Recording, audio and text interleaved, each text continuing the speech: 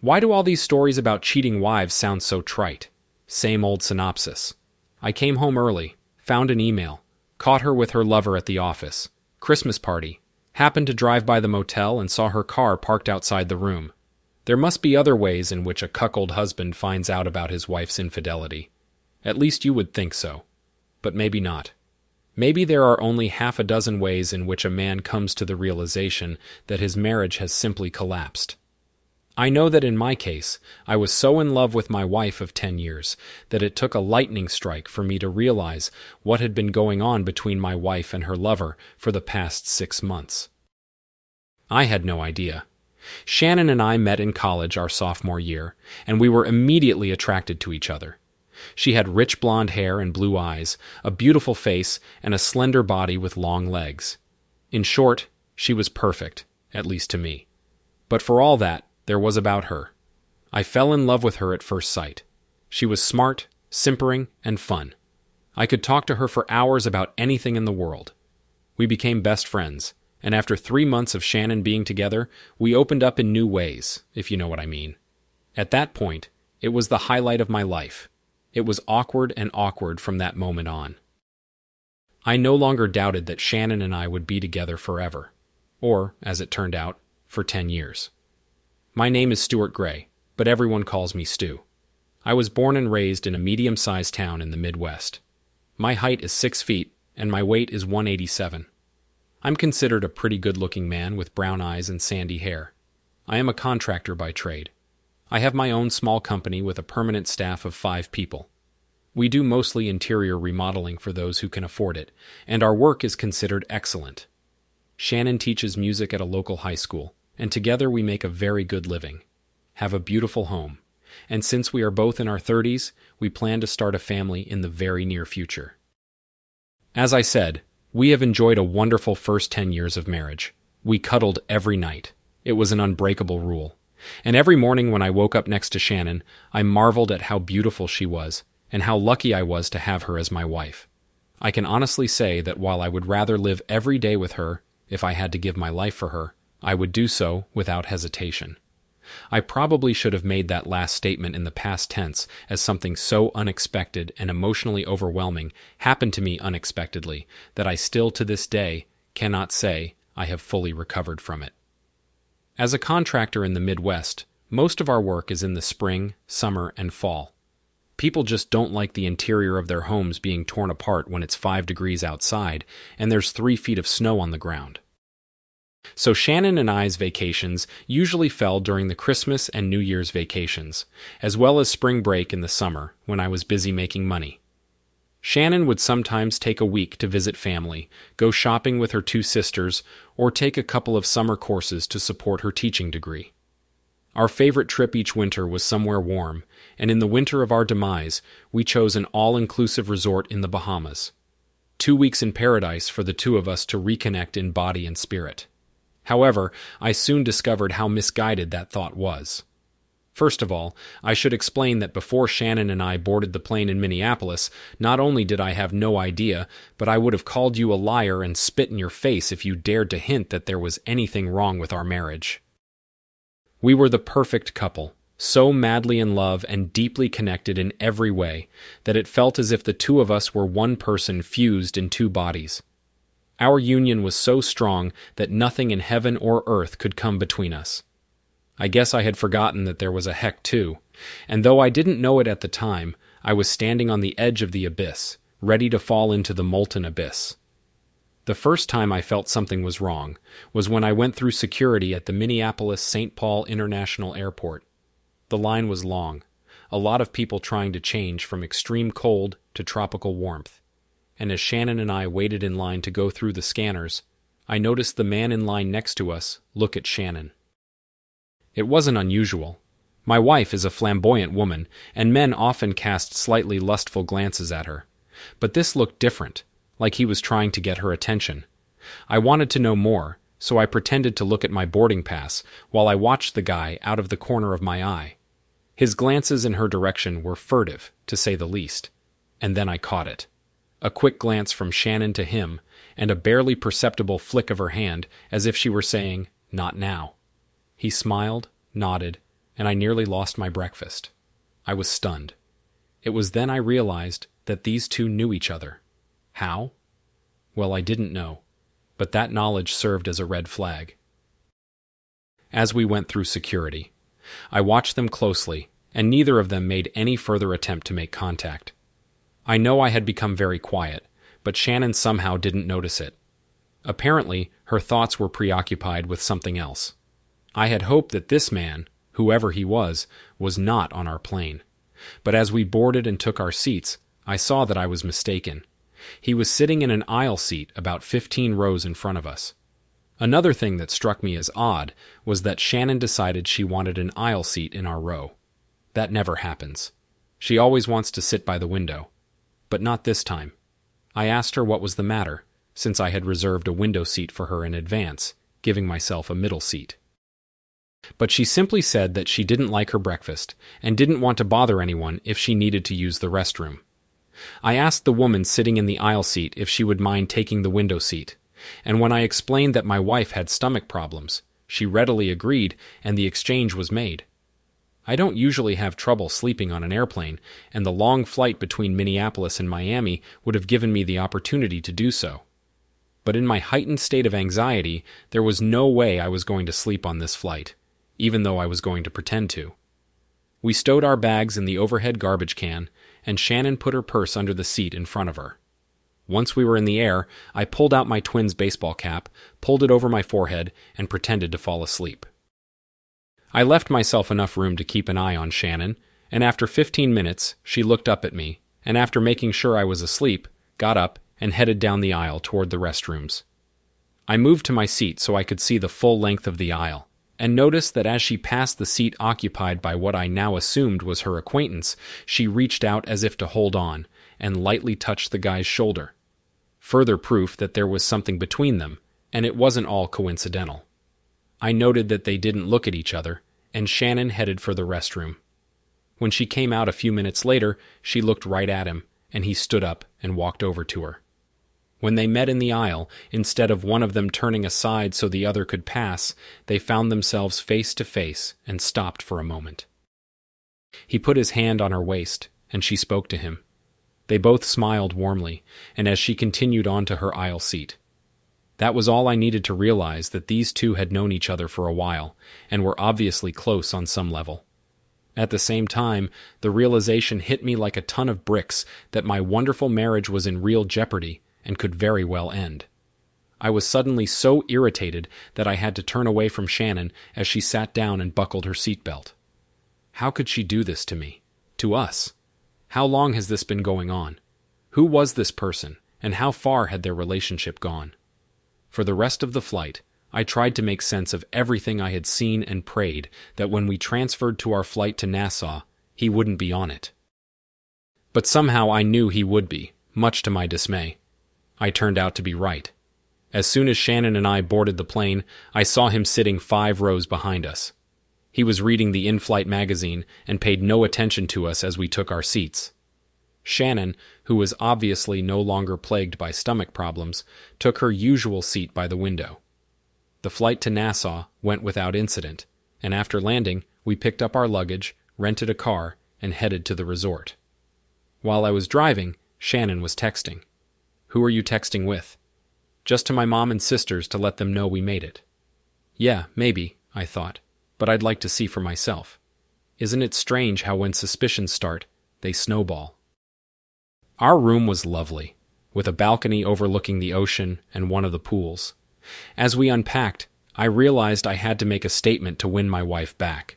So I walked over to Shannon and said, Do you realize how much I love you? I love you too, baby.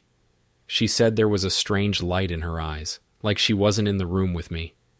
You know I'd never do anything bad for you, don't you, Shannon? She flinched slightly. I know that, Stu, and I know you would never do anything to hurt me or our wonderful marriage, I told her. And she flinched again, and I saw moisture trickle into her eyes. Of course, Stu, you know I won't. But she didn't look at me. She just stared at the floor. I realized then that I had probably lost the battle if she hadn't already done it. I knew now that she would soon give herself to another man. I let her go and quickly went to the bathroom hoping I wouldn't lose her before I got there. I sat in the bathroom for a few minutes, regaining my composure and asking myself the same questions over and over again. How did this happen? What did I done to bring her into the arms of another man? Why hadn't I noticed anything a few weeks or months ago? But most importantly, what can I do to stop her from destroying us completely? Or is it too late? I washed my face and walked out of the bathroom. Shannon was standing there with a strange look on her face. Oh my god, Stu, I just got my period and I didn't bring anything with me. What said I my period, Stu? It just started. But you got it a week ago. How could it start again? I don't know. But sometimes it happens. Maybe the excitement over the vacation led to it. I need to go down to the gift store and get some tampons. And she left, closing the door behind her. My first thought was that maybe this was a good thing. It would slow down the romance between her and her boyfriend, whoever he was. My second thought was, wait a minute. This just doesn't make sense. In all our years together, this had never happened to her. She was on birth control pills, and her periods were always regular, like clockwork. Then why would she make it up? Unless unless she thought her period would stop me from pursuing her so she could devote all her love and passion to her new man. That's the way it should be. And if it is, she's not the woman I married. No one can be that conniving and cruel. She must really hate me, since she let me plan and pay for this trip, to cut me out of her life and give everything she has to a man I've never even met. I felt completely lost, like I was going crazy. Who was this woman I had loved with all my heart for over a decade? As I looked around the room, I saw that she had left her cell phone next to the TV. I turned it on, not knowing if she had changed the passcode, and found that she hadn't. Another mistake on her part. I went into her messages and read the latest from one Anthony Eisner. I scrolled back to the beginning of the thread, which started when we were driving in the car to the resort. Anthony, Hey, baby, I can't wait to have you at our place. Shannon, you little brat, you almost got us caught by Stu at the airport. Anthony, I couldn't resist, Shannon. I almost kissed you on the plane when we were standing in the aisle. Shannon, Stu was sound asleep, so you could have, but it might look bad to others. I got to go. We're almost there. The conversation between the two resumed once we were in our room at the resort. Anthony, I'm in the lobby. Are you here yet? Shannon. In my room. Stu's in the bathroom. He's acting weird. Anthony. Who cares? When are you going to dump Stu so I can have you to myself? I told you from the first time we were together that I can't and won't do it. Tony. Stu is a wonderful husband. He loves me, takes care of me, and gives me a life that you could never provide. Anthony. But you know what I'm better at. Shannon. Ha ha. Yeah, you're better at that. But I need more than that. And Stu gives me that. Stu and I are getting ready to start a family, so the next two weeks are just for you, baby. I told Stu that I would stop taking birth control pills when we got home, but I actually stopped taking them almost three weeks ago. So now you have a chance to give me your baby, which Stu will raise thinking it's his baby. Anthony, you're so mean, Jan, but I love it. But what if he gets you pregnant? Shannon, I'll tell him that I got my period again, and oddly enough, it'll be coming the whole time we're on vacation Anthony, are you sure he's going to buy that? Shannon, of course he is. He loves me, and he knows I would never lie to him. Besides, when we get home, I'll make it up to him. Anthony, darn, he's so dumb. What a loser. I stood there in complete shock, started to change her phone, and stopped. There is a possibility that I will find a way to use these messages as evidence in the divorce. I started to change her phone to my own, and then thought, screw her. My phone has all my personal information on it. She made this mess on her own. Let her try to find a way out of it. So I kept both of our phones. I figured it wouldn't take her long to realize her phone was missing, but by then I'd be long gone. I could feel the bile rising in my throat, causing me to gag. I walked over to the window and looked out at the beautiful Caribbean Sea. Eight hours ago, I was the happiest man on earth, preparing for two weeks of romance under the tropical sun, with the love of my life, my wife, my soulmate. And now my world was crumbling around me. I had never felt so alone, overwhelmed, and angry in my life. I wanted to hurt them both, to destroy them, for making such a pathetic fool of me. Thankfully, the rational side of my brain gradually took over. Divorce was a sure thing. There was no way I would stay with the cheating wife who was my loving wife. But I wanted more than that. I wanted revenge. Looking out the window, I happened to glance at the pool. And there they were, arms wrapped tightly around each other. I wanted to throw up, but instead I took a deep breath and grabbed my DVR, which I had bought specifically for this trip, but was now using it to record their actions. I guess while Shannon was unpacking, she never bothered to look out the window of our room, or she would have noticed the pool in plain sight. The camera had a decent zoom, so I was able to get some good close ups. I hated looking at it, but I would use it against them later. I needed a plan and fast, but my stomach was cramping and my brain was blocked. Then it occurred to me how she was going to spend time with her lover, if I was around. They must have a plan to keep me occupied while the two of them are together. While I was thinking about it, a simple thought occurred to me. Shannon wanted to spend two weeks with her lover Anthony to get her pregnant, and I wanted revenge. So why not do it now, instead of waiting and ruining their plans? First, I had to figure out a way for them to keep me occupied while they entertained each other. I was still taking notes when I saw them kissing one more time, and then Shannon quickly turned and left. She would be back in our room any minute, and I needed to get my emotions under control. So I went back into the bathroom and started the shower to try and relax.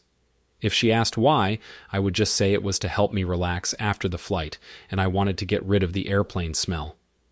Five minutes later, I heard the door to our room open and close. I'm back, she exclaimed.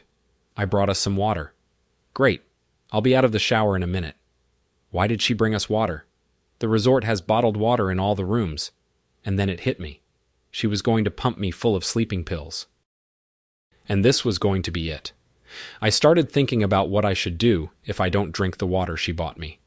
She'll realize that I might suspect something if I drink the water and she turns out to be this. I'll go out, and she and her lover will go back to her room. What to do?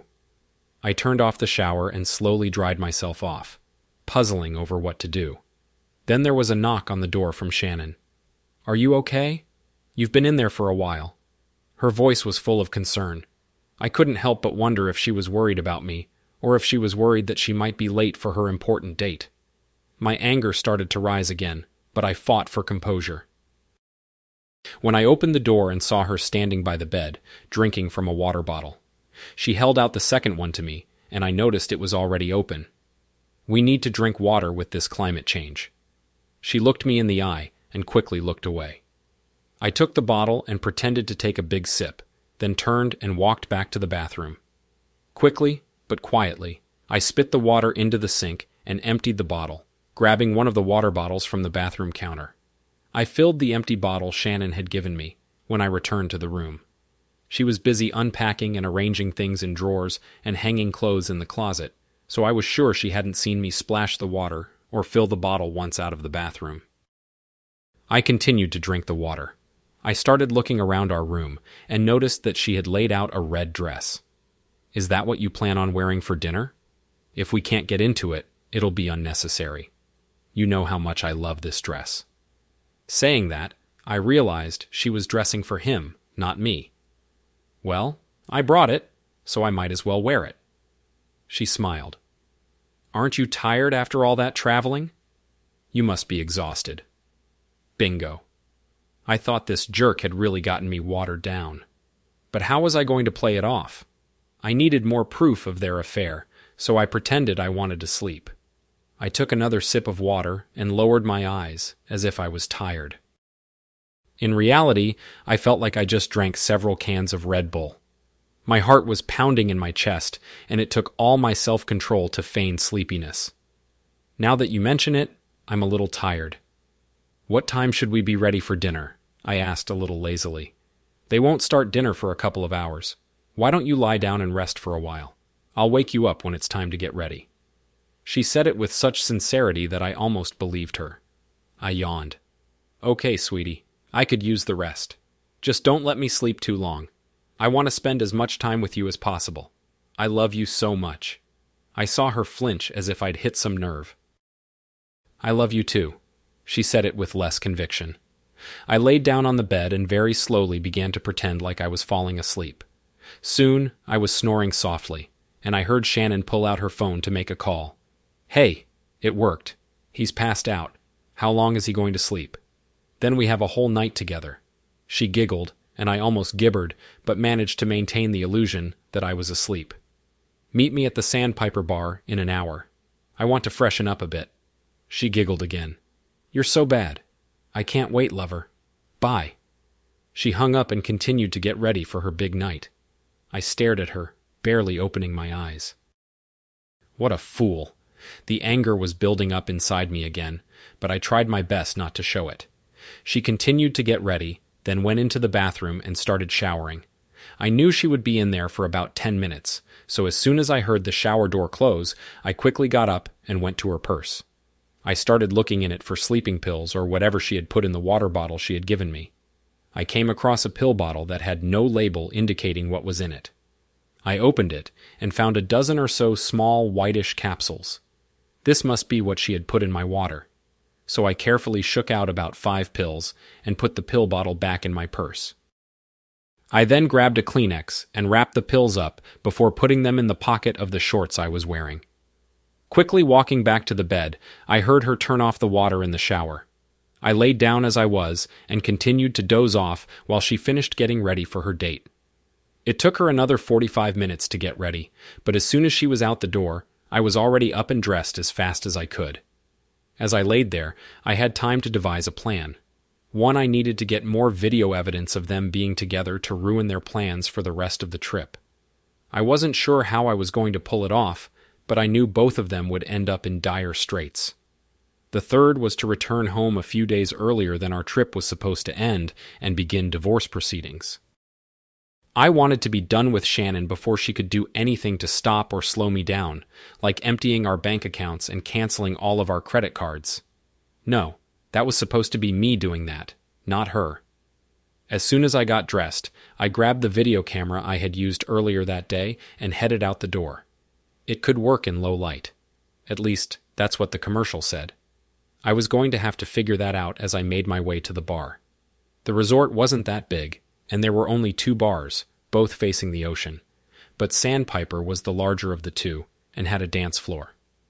I managed to find a strategic spot behind some low palm trees that gave me a full view of the bar, but was far enough away from it that I couldn't be seen. Thanks to the zoom lens on my camera, I got a very good video. The bar wasn't too crowded, which made it easy for me to spot my victim. She was wearing that darn red dress that I used to love, but now it made me blaze with anger and hatred. He wrapped his arms around her, and it took all my self control and willpower not to run up to the jerk and destroy him. I had to remind myself that I was here to get evidence, not to end up in jail. I started recording the two of them, acting like two lovers in the Caribbean. They laughed and kissed, like lovers do, like Shannon and I did. After about an hour, the DJ turned on the music and they started dancing. After watching them dance together on the dance floor for another hour, I couldn't take it anymore and was about to go back to our room. My room alone. And then I noticed the two of them walking quickly off the dance floor. I cautiously moved after them, keeping my distance so as not to be seen. Soon they reached his room, which was in the back of the resort. It was smaller than ours, and was on the first floor with no ocean view. This guy must be on a tight budget, I thought. They entered his room, and I quickly moved closer to see if I could get a peek inside. Luckily, the curtains weren't completely closed, and the window was slightly ajar so I could hear their conversation and record everything that was being said. I was videotaping everything, absolutely everything. It was nearing midnight, and I was already thinking she was about to leave him to be with me. But then I heard their conversation.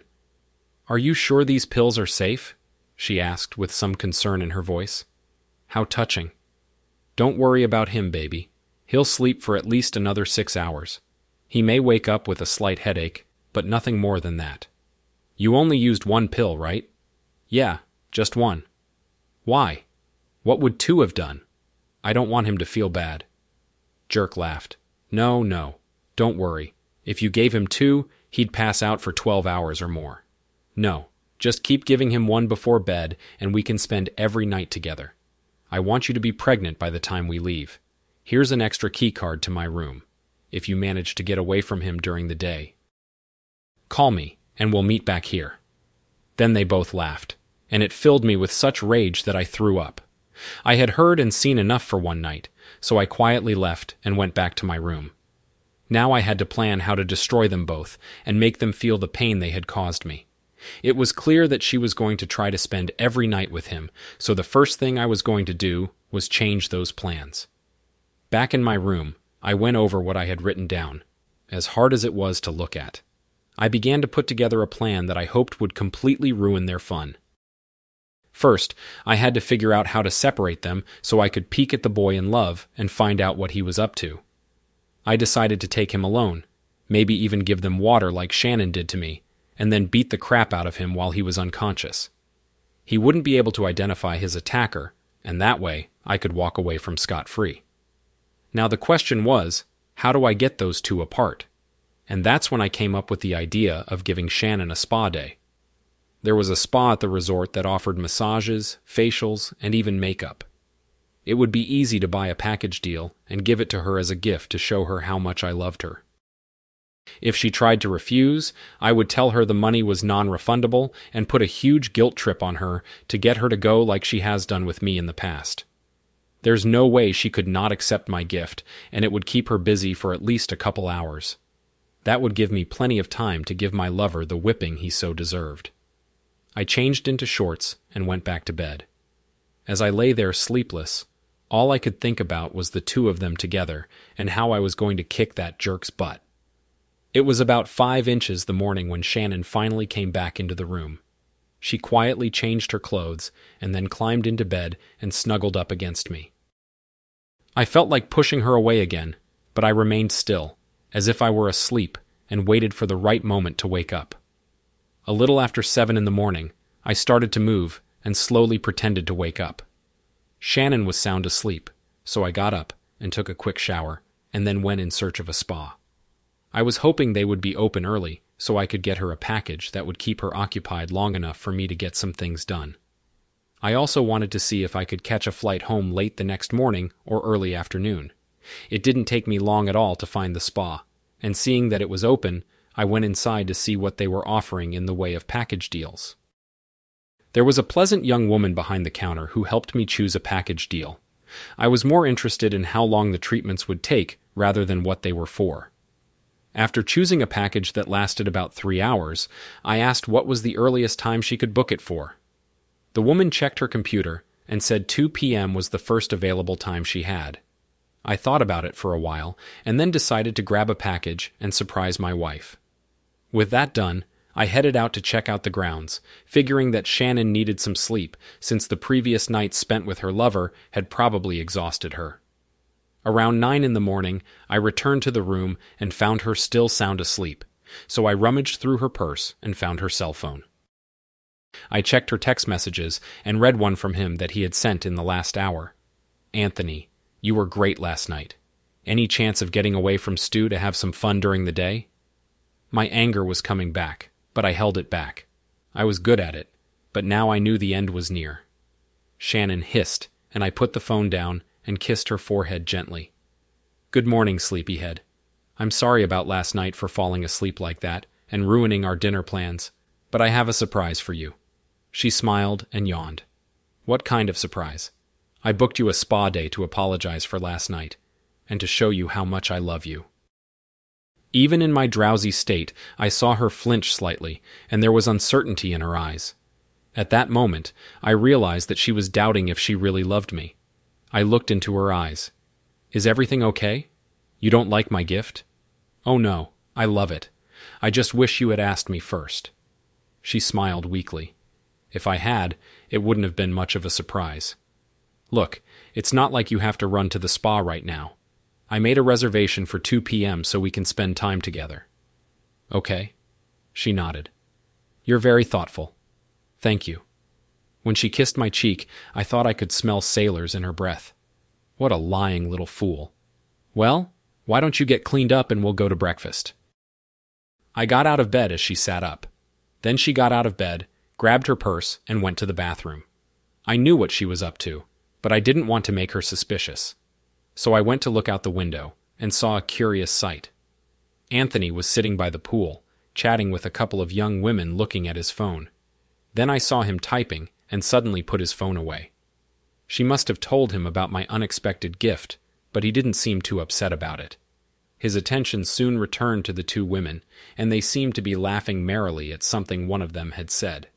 Then he made a gesture with his hand, and the three of them walked out of my sight. It occurred to me that maybe Anthony was making backup plans in case Shannon couldn't make it to have a little fun after lunch. That could prove to be very helpful. About an hour later, Shannon and I were standing at the buffet table filling our plates. More specifically, I was filling my plate, and she had fruit and coffee. Not hungry, baby. Are you on your period? I asked. Yeah, I guess so. I don't feel like eating at all. She looked away. I couldn't help but wonder what Anthony had written in his message because it seemed to bother her. It didn't matter, though, because my plan seemed to have had the desired effect on them, or at least on her. After breakfast, we decided to take a walk on the beach and look at the ocean. I brought my camera with me and took pictures of the beach, the palm trees, and Shannon. She would smile politely, and I would make remarks like how beautiful she was and what a great mom she would be. Then she would flinch, uncertainty and guilt appearing on her face. What's wrong, baby? Are you okay? I knew she was starting to. Not me with guilt. No, I'm fine. Just a little tired. Do you mind if I go back to the room and take a nap before hitting the spa? Sure, no problem. I know it's no fun being on vacation and having your period at the same time. Go lie down, and after your spa treatments, I'll be waiting for you in your room. I'm sure it will do you good. She turned and walked back towards the spa without even kissing me goodbye. Oh well, I'll be blowing her off for a long time to come. All that's left is to find Anthony and make him pay. As I continued walking down the beach, immersed in my thoughts, I saw two couples walking towards me and the women I recognized, the ones I had talked to Anthony in the morning. Now they were with two huge guys who looked like they could be Vikings defenders. As I got closer, I started to hear their conversation. Come on, baby, don't be like that. You knew Dave and I wanted to go fishing, and they had two spots available. We'll be back before dinner. Sure. It's just you guys can go and do what you want while we're stuck here at the hotel. Babe, there are plenty of things you could do here. Go into town and go shopping. Hang out by the pool or on the beach. Heck, you could even use the gym they have here. Are you saying I'm fat? You should be talking. No, babe, that's not what I meant. It's just that you could do a lot of things here. That's all. I realized he was losing it as they passed me on their way back to the resort. But he continued to persevere, but to no avail. After wandering around the beach for a while, I decided to go back and try to figure out what the boy in love was up to. I feared that Shannon had missed her spa visit and was with him, but if that was the case, I might be able to get some more videos of them together. I wandered around the spa for over an hour and then found myself outside Anthony's room. There were voices coming from inside, but not Shannon's voice. I carefully prepared my camera and moved closer to the window. It was very risky as it was daytime, and there could be a lot of people walking by who could see me. I decided it would be best to set up the camera on the ledge of the window, facing the room, and leave it to record on its own with the camera set up. I walked down the walkway and found a spot from where I could watch the door and see who was coming out. Time stretched slowly, but my patience were rewarded. The two women I had seen with Anthony this morning at the pool, and then on the beach with those two guys, came out of his room. They were smiling and giggling as if they knew some inside joke. As soon as they were out of sight, I went and got my camera and headed back to the room. Shannon wouldn't be back from her spa treatments until an hour later, so I had time to review what I had recorded. As soon as I got back to the room, I pulled out my laptop and downloaded all the videos I had recorded since we arrived. Most of it was dedicated to Shannon, but then I reviewed what I had just recorded of the two girls being in his room. It looked like they had found something to do while their boyfriends were off deep sea fishing. Anthony convinced them to do a double team with him. And then another idea hit me. if I could get the timing right. I'd go home, and Shannon would stay here trying to figure out what the heck had happened. I knew she'd probably try to give me water again tonight, so I'd repeat the performance and let her think I was knocked out. Then, with any luck, she'd meet Anthony at the bar, dance and have a drink, and then go back to her room. If I managed to slip one pill into each of their drinks at the very end of the night at the bar, they'd be passed out by the time they got to his room. The timing had to be perfect, but in life, you can rarely plan perfectly. The second part of the plan was to record Anthony's latest conquests on the VCR. I have to say, I was a little jealous of the jerk, and that he was able to convince two very pretty women. I had a few DVR discs and made two copies of his day's exploits. Now, it was just a matter of figuring out which rooms to leave them in. I also made a copy of everything I had recorded up to that point on another DVR to back me up. I went down to the front desk and was able to send the disc to my brother Frank's house with a note asking him not to play it, or let anyone know that I had sent it to him. This was in case my plan failed, or Shannon and Anthony found out what I was up to and wanted to do me some bodily harm if I was destroyed. At least the disc I sent to my brother would show the authorities who was behind it. Checking the time, I saw that Shannon was due to finish work at the spa soon, so I decided to take a walk around the resort to find out what rooms those two women and their boyfriends were staying in. I'm sure their boyfriends would be interested to know what they were doing while deep sea fishing. Soon, I saw the two women I was looking for walking away from the pool, both holding towels.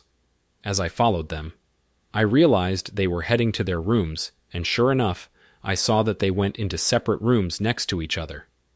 That saved me from one part of my plan. Now, if everything coincided, and Shannon and Anthony followed the same pattern as the night before, I could completely screw up the rest of the trip by tomorrow morning. I went back to the room to call the airline to find out when the earliest flight for the next morning would be. The most I was able to find out was 10 a.m., which was later than I had hoped, but I booked my ticket anyway. I then went back to the front desk and informed them that my wife and I had to leave the next morning for family reasons, and that we would be leaving at 8 a.m. They sympathized and wished me the best. I thanked them and returned to the room. I was now firmly committed to my plan no matter what.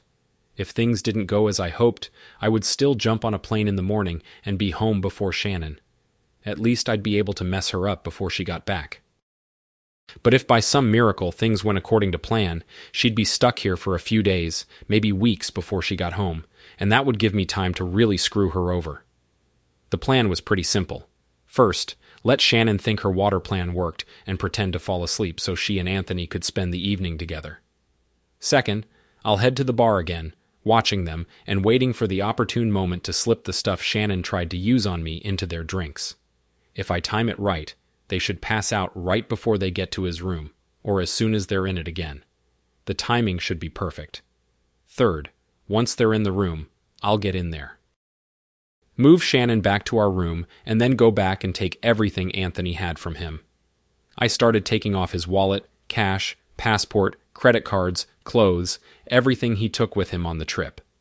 Then I found the rooms of the two women Anthony had been doing it with earlier in the day and slipped the DVR discs under their door, hoping one of their boyfriends would see them first and play them back.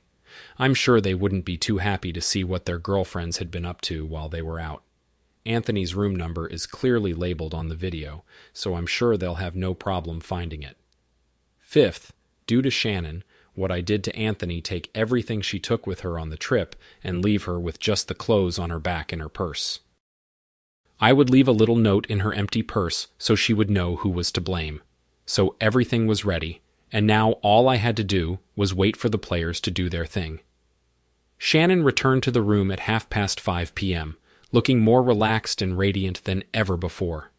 It pains me to think that she had ruined our marriage, and that I would never be with this beautiful woman again.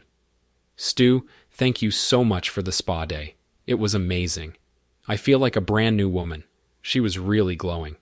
I'm so glad you enjoyed it. When I first told you about it, you didn't show much enthusiasm. But I'm so glad you liked it.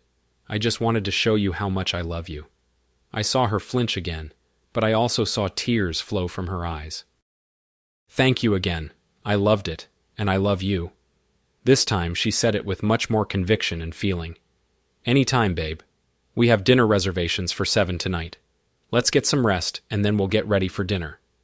She nodded and went into the bathroom, bringing her purse with her. A few minutes later, she came out with two bottles of water and held one out to me. Here, drink this. I want to go dancing tonight, so you better start moisturizing now. She winked at me.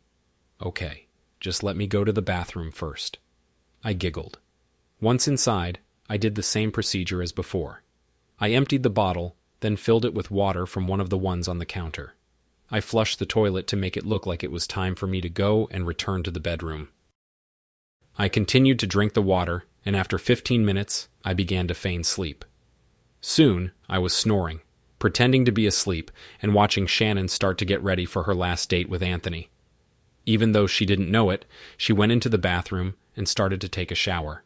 I quickly got out of bed and grabbed her phone to see what her lover had texted her. Shannon can't get out this afternoon. Stu bought me a spa package. Can't say no to that. I have other plans for today. Are we still on for today, Shannon? Oh, yeah. After reading that crap, I wasn't as pissed off anymore since I knew the end was near.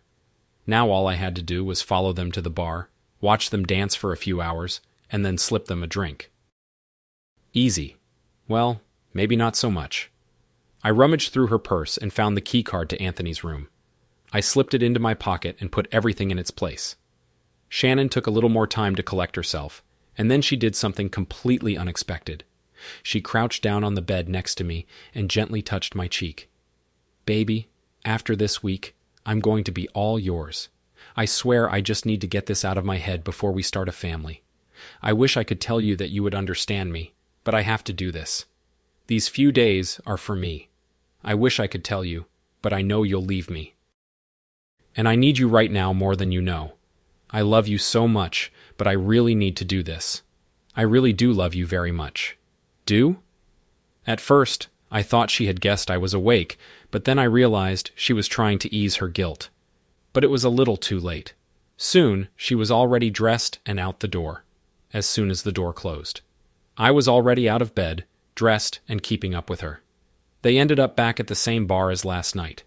It was more crowded than the night before, and I even saw two women and their beach boys. If my plan worked, they wouldn't be together until the next morning. I found myself in the same spot as the night before.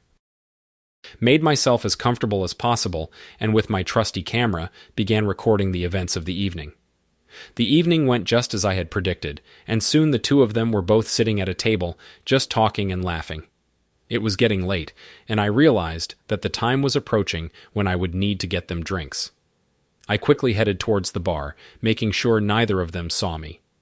Once there, I found an empty seat next to where the waitresses were placing and receiving drink orders.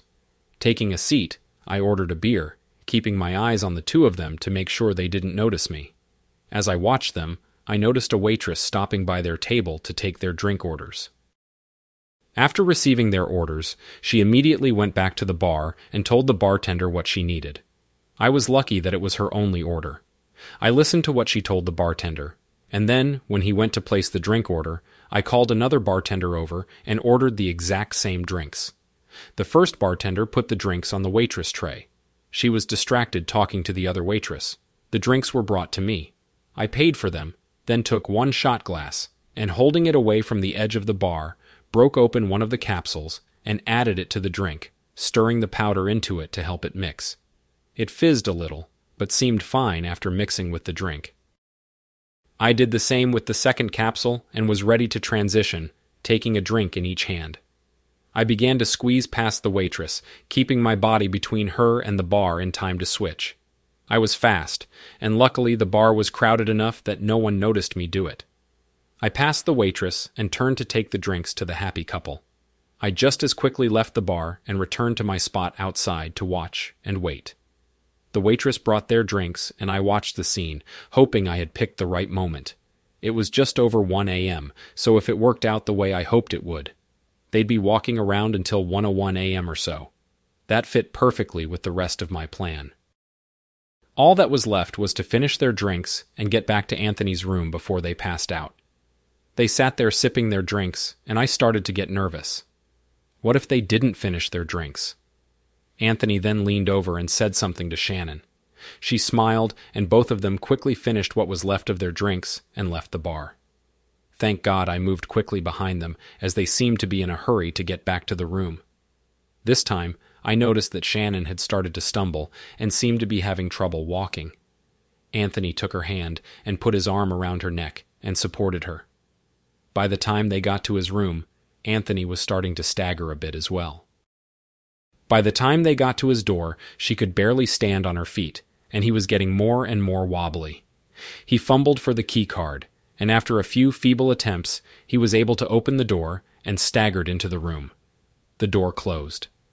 I waited a few minutes, then retrieved the key card I had taken from Shannon's purse and unlocked the door. As I entered the room, I heard Anthony's voice. What's wrong with you, babe? You didn't drink that much. He was speaking slurred, and I realized that he was going to be hung over very soon as I entered the room. I saw Shannon lying face down on the bed, unconscious. Anthony was shaking her, trying to wake her up. Come on, baby. Time to do things. He looked over and saw me coming in. Hey, who are you?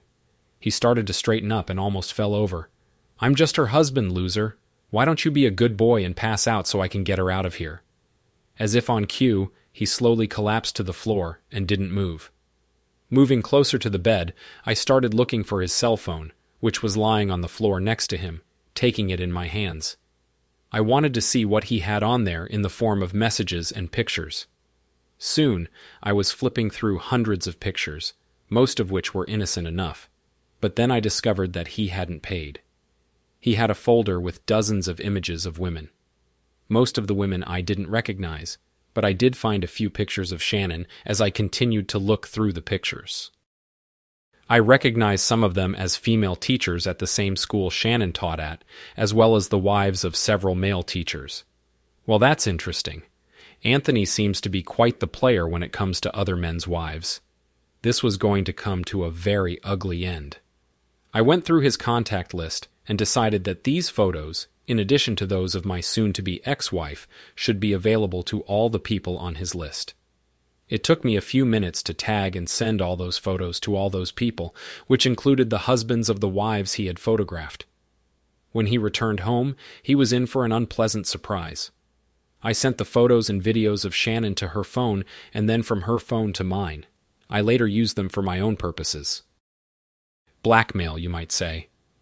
After turning off his phone, I started gathering all of his belongings, clothes, toiletries, and other items that he had taken with him on the trip and just carelessly stuffed them into a suitcase. I also went through his pockets and took all of his cash, wallet, credit cards, driver's license, and passport. I knew it would be very difficult for him to leave the island without his passport. After finishing filling his suitcase, I turned my attention to Shannon. She was still lying face down on the bed with one leg hanging over the side. I very carefully rolled her over onto her back, then picked her up in my arms and carried her to my room. There I put her on our bed and went back to the loser's room to get all of his stuff. I kept his phone, wallet, and cash, as I felt I should get some sort of compensation for it. After looking around his room, I made sure he had nothing to take with him. I even took the shoes he was wearing, and on the way back to the room, I found a trash can at the resort and dumped his suitcase and shoes in there, covering them with trash so they wouldn't be discovered. Once back in the room, I started packing my suitcase as well as Shannon's suitcase, whose belongings I treated with the same Carrie's, Anthony's.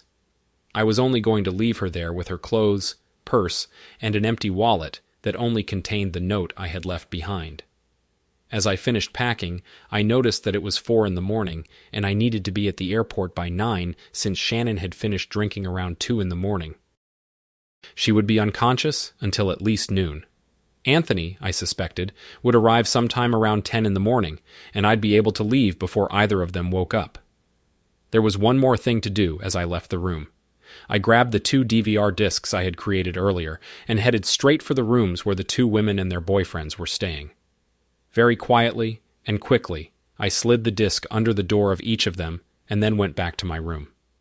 There I looked at a peacefully sleeping Shannon lying on the bed, and I was overcome with a feeling of immense loss and sadness.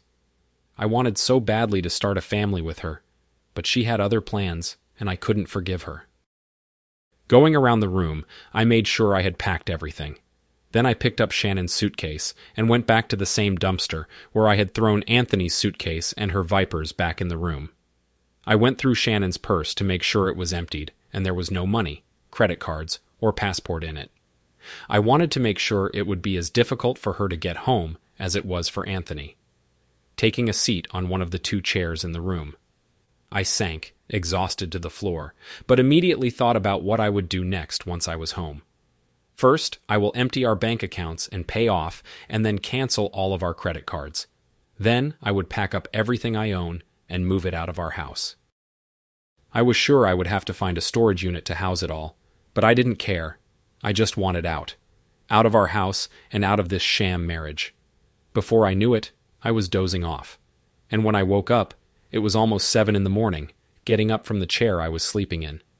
I walked over to the bed, looked at Shannon, and then gently picked her up in my arms and carried her out of the room. I walked down to the pool and left Shannon on one of the lounge chairs, since I was checking out. I didn't want her there when they came to clean the room and get it ready for the next guests. Back in the room, I grabbed my bags and looked around one last time to make sure I had everything before I left. I still had Anthony's phone, but then an idea hit me. I walked back to the pool and picked up Shannon's phone. I started sending out all these pictures and videos to everyone on her contact list, with a few exceptions. She had a few nieces and nephews who were too young to see these things, but I was sure her mother, father, sisters, and coworkers would find them interesting. I walked up to the front desk and asked for a piece of duct tape. I took the battery out of her phone, put a very small piece of duct tape over the contacts, and then put the battery back in place. It would look like her battery was dead. I also made sure she didn't have a cord to charge her phone with. No money. It would take her a while to get the phone to work. It was about 8 a.m. when I heard yelling and screaming. It was the boyfriend of one of the two women I saw Anthony with yesterday. Apparently, their ex boyfriends had watched the video. I slipped under their door. You fool, you can tell your family that the wedding is off, and I don't want to see you anymore. You can find your own way home, jerk. One guy was yelling at his girlfriend. The other guy just stared at him with a stony expression while his girlfriend pleaded with him. Baby, please don't leave me, I said. I'm sorry. It was a very stupid mistake. And besides, you got back at him. She cried. You're a cheater. Go back to your new boyfriend. But I don't think things are going to get any better from here on out. He said it so coldly that I shuddered with fear. I wonder what they did to poor old Anthony. Well, I guess I'll never know. The next sound I heard was the siren of an ambulance stopping in front of the house. The superintendent came out of his office, I realized, and quickly led the paramedics down the walkway to Anthony's room. I really hoped he was okay. As people began to gather around to see what was causing such excitement, I calmly called a cab and headed to the airport. Turning on my phone, I noticed that I had a voicemail message. Calling up the voicemail. I listened to my brother Frank's message. Stu, what the heck is going on over there? I got a bunch of pictures of Shannon. What's going on? Do you know about this? Call me when you get this message. When I got to the airport and was waiting to board the plane, I called him back and explained the whole situation. How Shannon was having fun with Anthony while we were on vacation and how she was trying to get pregnant by him. My brother was shocked and thought I was kidding at first, but then I told him to watch the video more carefully. He said he was very sorry for what happened and that if I needed anything to call him. I thanked him, hung up, and soon found myself flying home alone. Turning on Anthony's phone as soon as I landed, I found a dozen voicemails and over 30 texts threatening to do him bodily harm. Apparently, the pictures and videos I'd sent weren't popular after picking up my stuff. I took my car out of the long term parking lot and drove home. As I drove home, I started planning what to do next. Divorce was one option, but I knew she would get half of everything, and that didn't suit me. She cheats and still gets it in the divorce. It didn't seem fair. As I drove, another plan started to form in my head, and I began to mentally make a list of what I would need and how to do it. She had ruined our marriage, and I was going to make her life a living heck. When I got home, I called my brother and asked if he could help me move my stuff out of the house over the next few days. I wanted to get it done before Shannon returned so she would come home to an empty house. I finally turned on my phone and found over 20 voicemails and over a dozen texts. Many were from Shannon's sister, asking me what was going on and why Shannon wasn't returning her calls. Some were from other members of Shannon's family asking basically the same questions.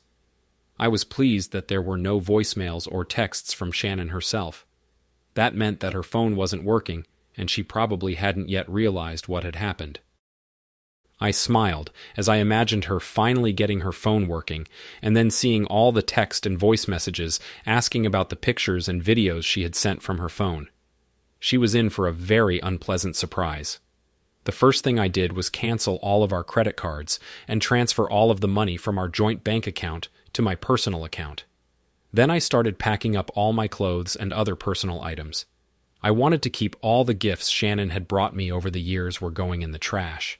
Unless they were worth something, then I would either sell them online or find a pawn shop. My home phone was disconnected as soon as I got home, so anyone who tried to contact me had to call my cell phone.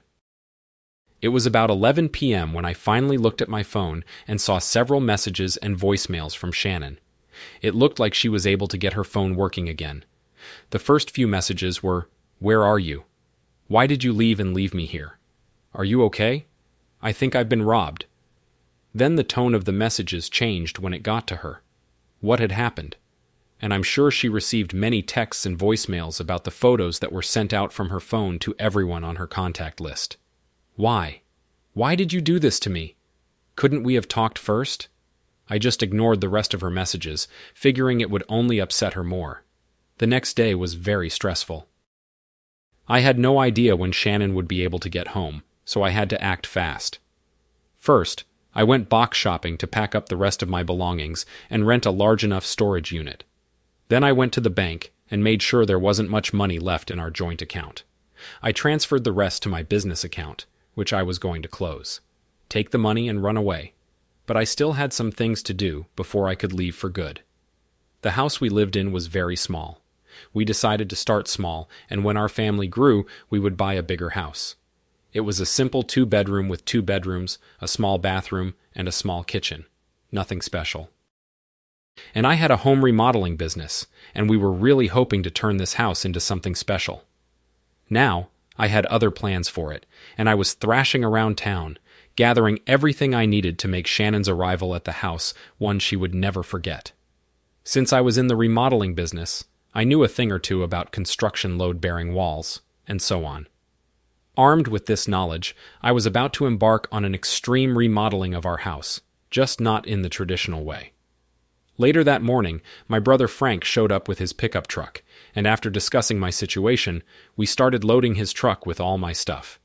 It took over five hours and three trips to the storage unit, but by the evening of that day, I was officially moved in. I didn't bother to tell Frank about my plans for the house or the surprise Shannon had in store for me. I knew he would try to talk me out of it, so I never told him about it. He did, however, ask what my plans were for the near future, just to get out of town and put this nightmare marriage behind me. I'm not going to file for divorce, but I won't be here when she comes back. She can have the house as far as I'm concerned, but that's all she'll get from me. Frank just shook his head. You know that won't work. She'll just hire a lawyer and track you down. Just get it over with and divorce that cheating jerk.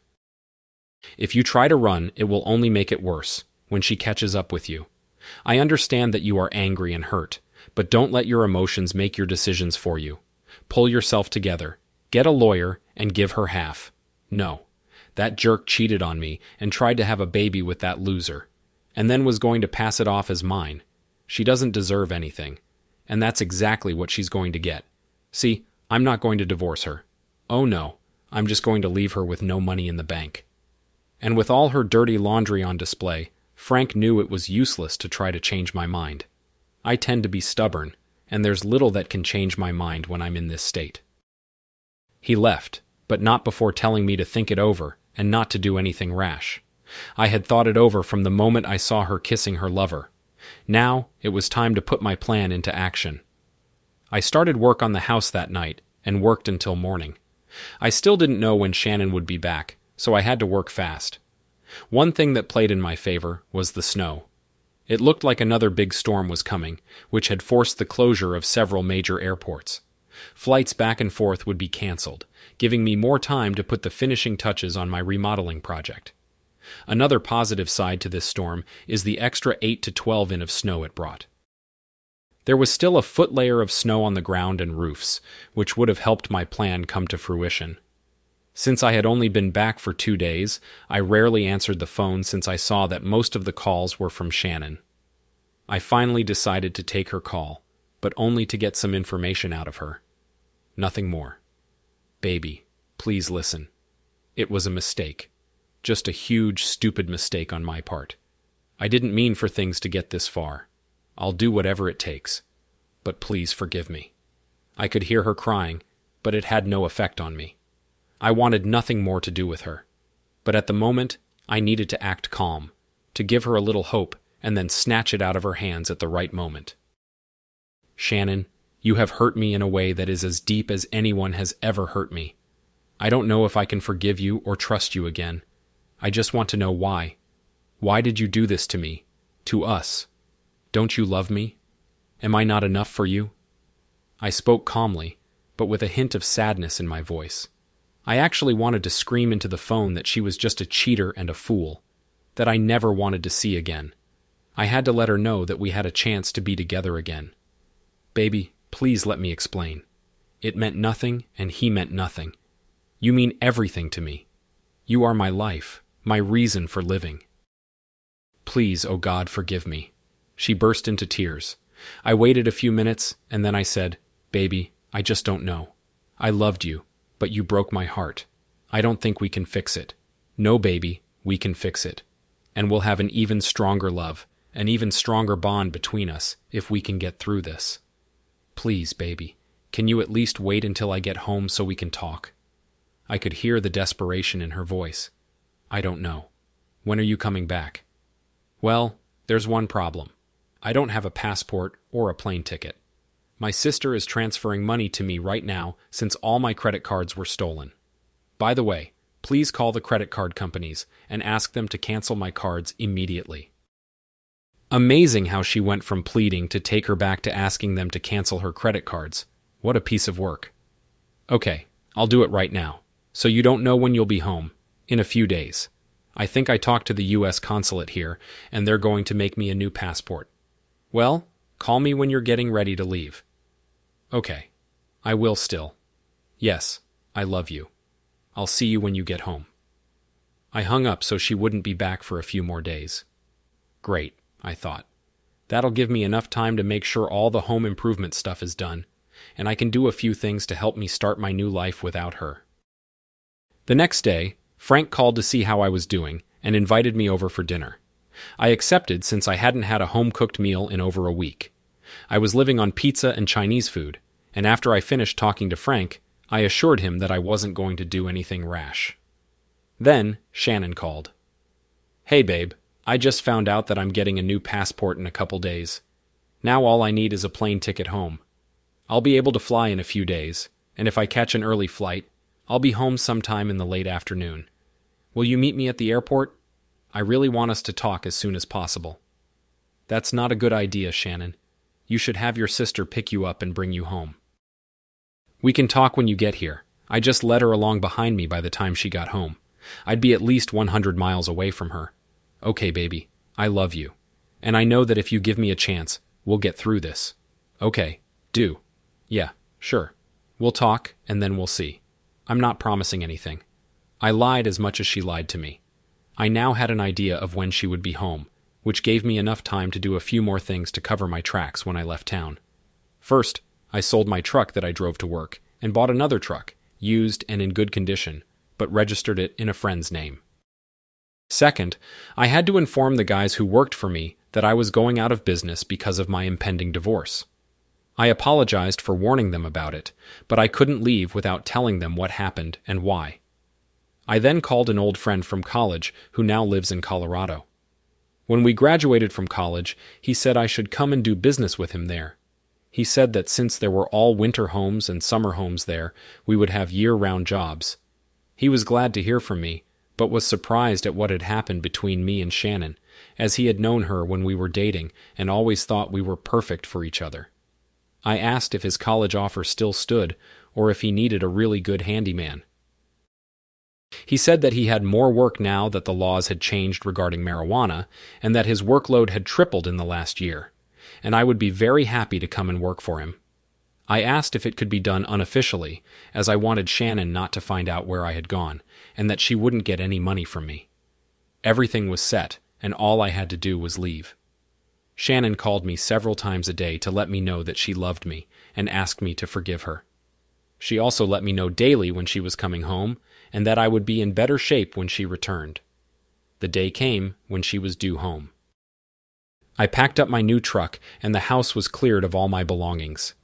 Everything that was left belonged to Shannon, or didn't care about me. I left very early in the morning, as I wanted to get out of town without anyone noticing anything. I asked the neighbor across the street to do me a favor and write down when Shannon was coming home. I told him I would call and let him know what time she would be home, since I had a surprise for her. He had no idea what was going on, and that she and I were having marital problems. He happily agreed and said he would wait for my call the next day. Everything was ready to go. As I drove out of town and headed south to my new life without Shannon, it would take me at least two days of driving to get to my friend's house, and Shannon would be home by then. As I drove, I felt less angry and more peaceful than I had in the past week. Ever since I had seen Shannon and Anthony together at the pool, I felt like my life had been flushed down the toilet, and now I was starting to pull myself out of that cesspool of despair.